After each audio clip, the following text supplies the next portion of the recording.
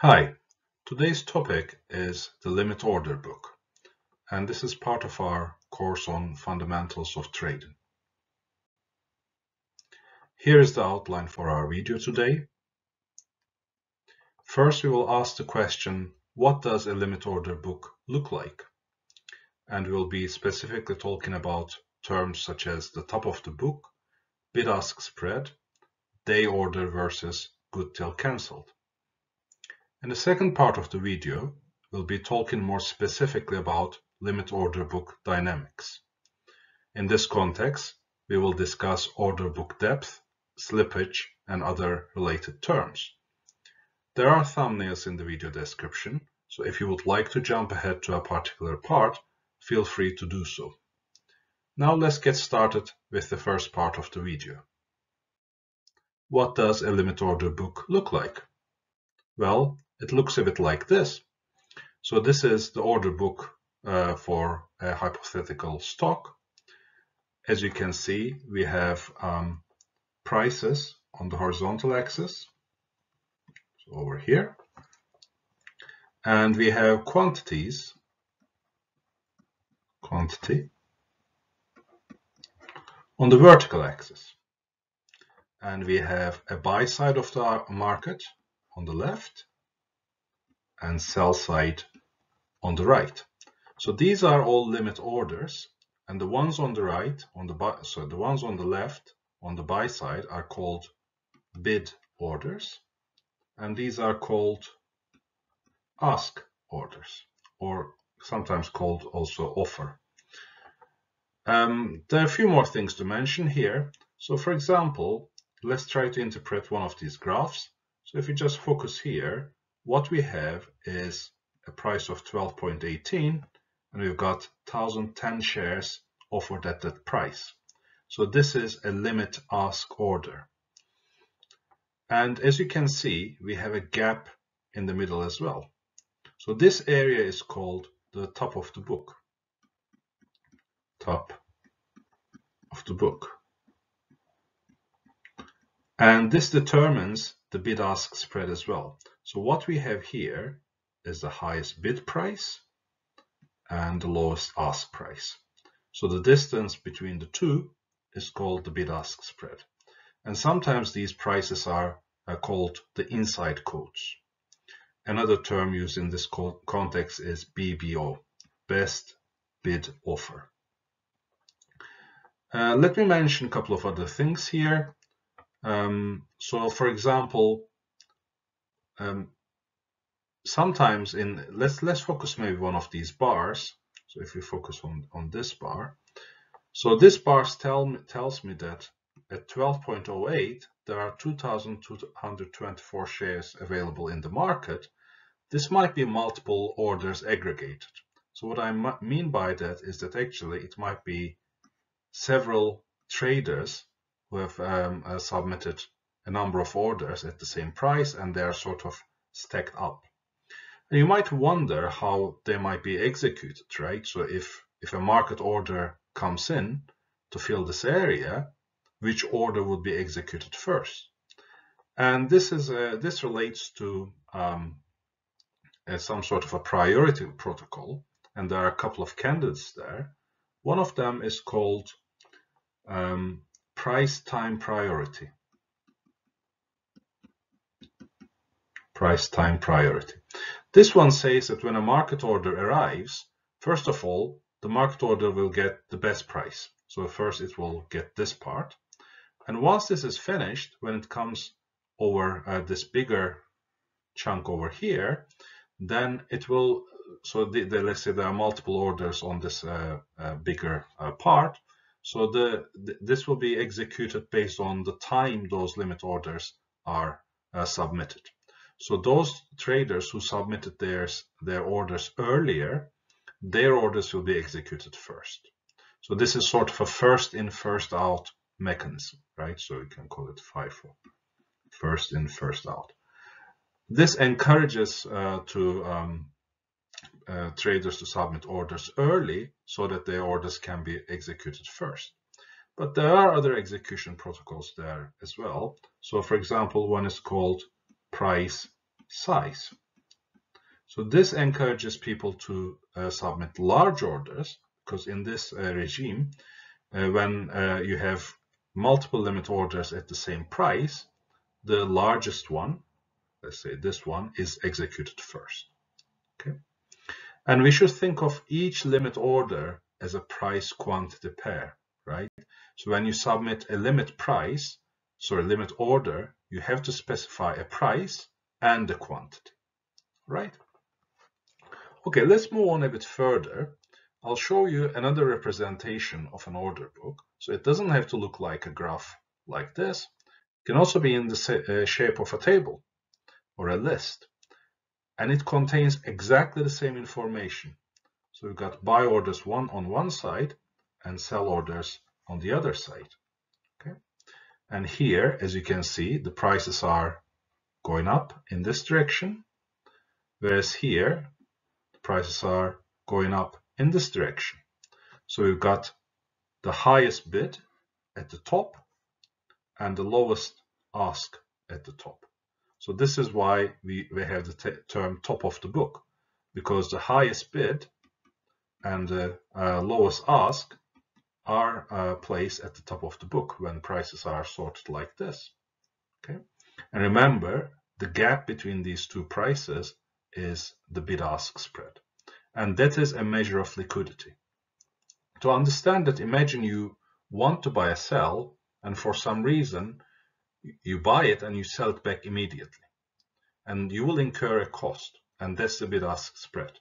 For example, if we have this particular order book, if you buy one share, this is the price you'll be paying, 12.18, right? Because this is the lowest ask in the market.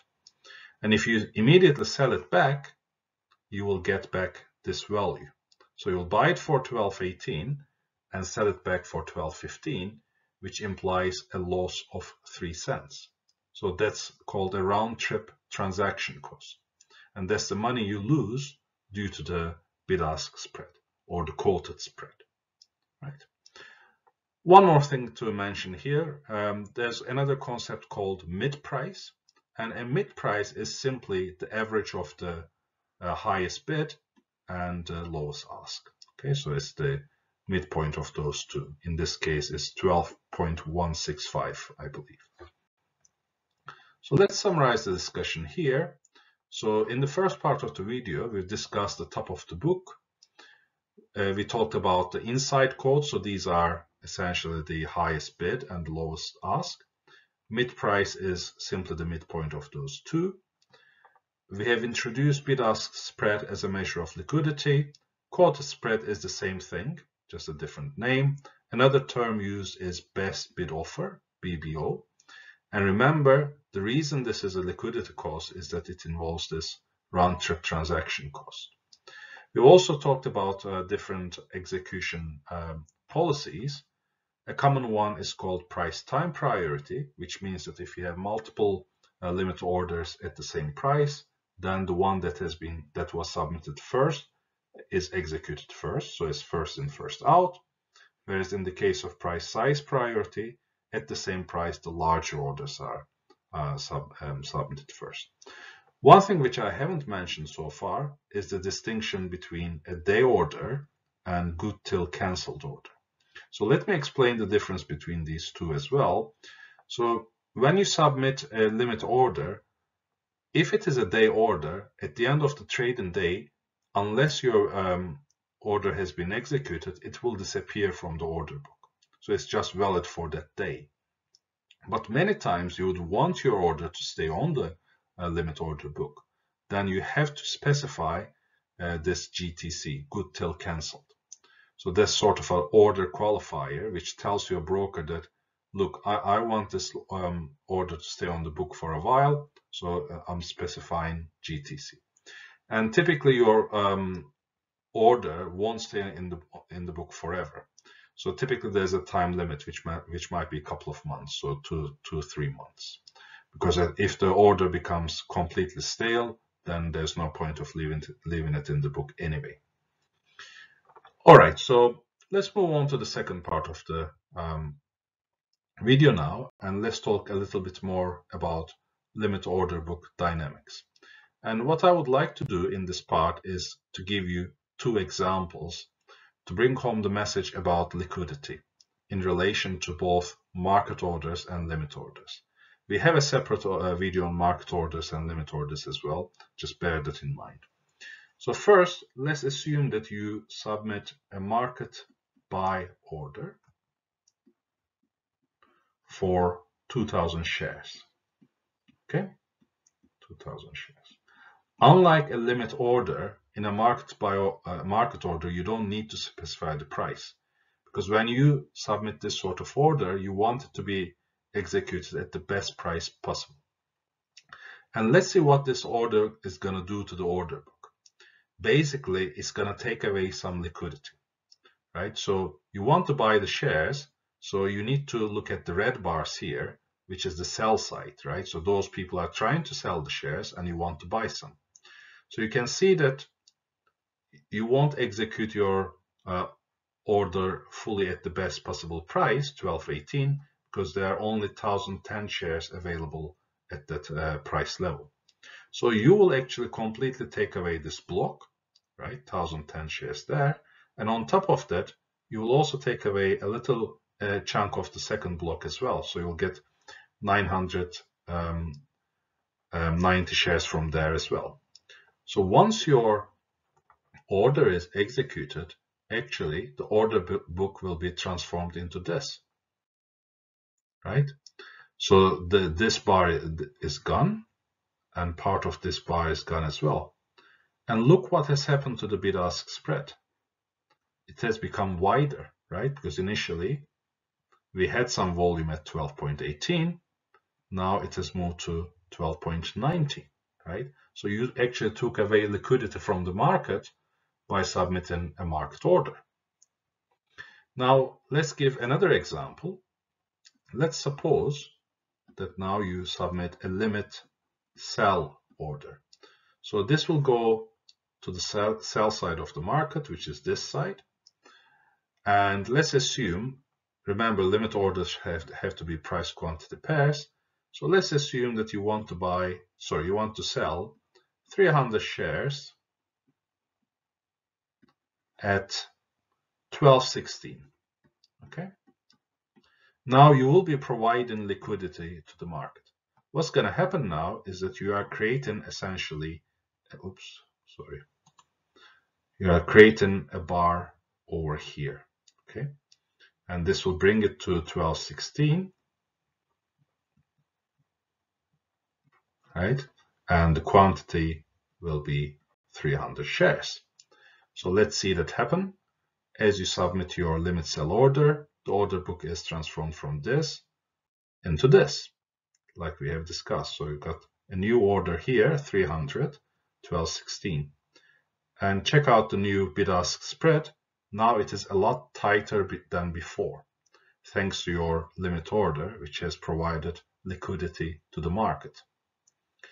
There are two more relevant concepts that I would like to discuss here which is called the order book depth. So again, this is a measure of liquidity and it's all about the quantities uh, offered at different price levels. So the more quantity available at each price level, the deeper the limit order book is. And that's desirable from a liquidity perspective, right? So for example, say you submit a market um, sell order to buy so market sell order to sell uh, 3000 shares right? So market sell 3000 shares. Now this will be executed on the buy side of the market because those guys are willing to buy and you want to sell.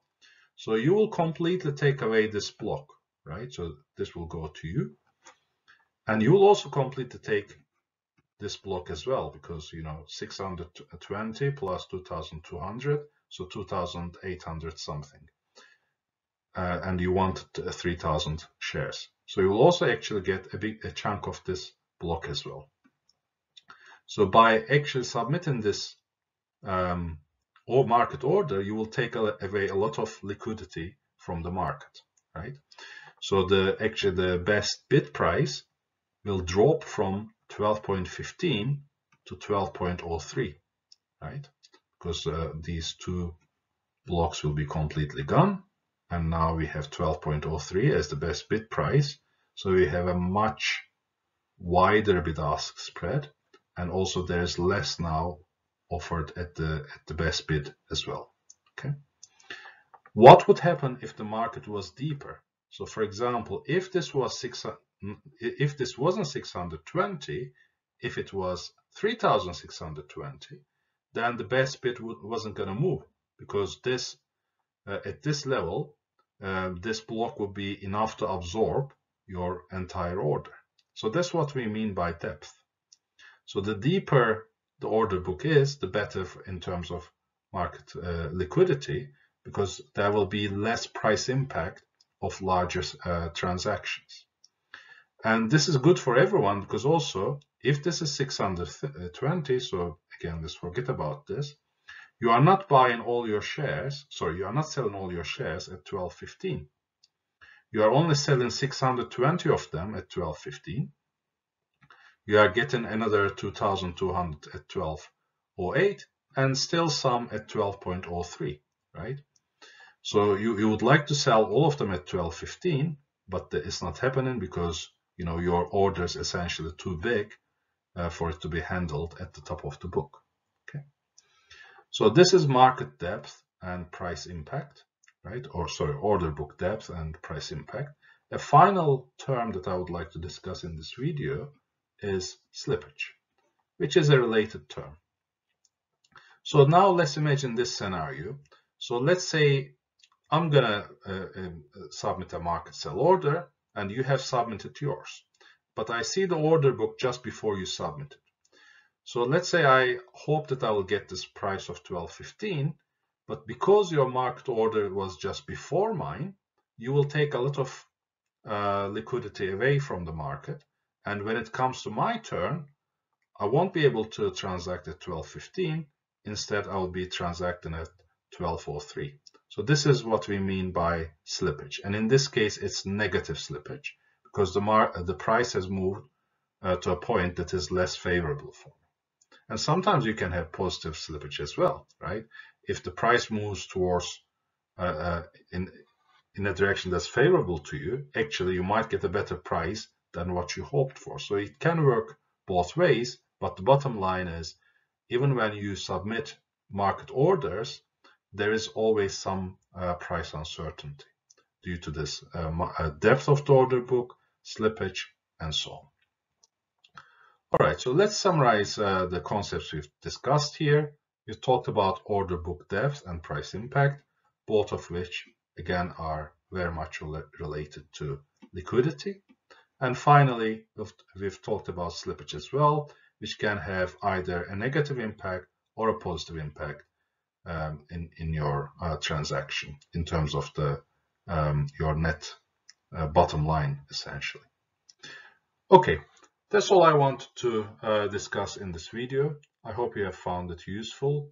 If that's the case, please consider liking the video and also subscribing to our channel. And I will be looking forward to see you in another video.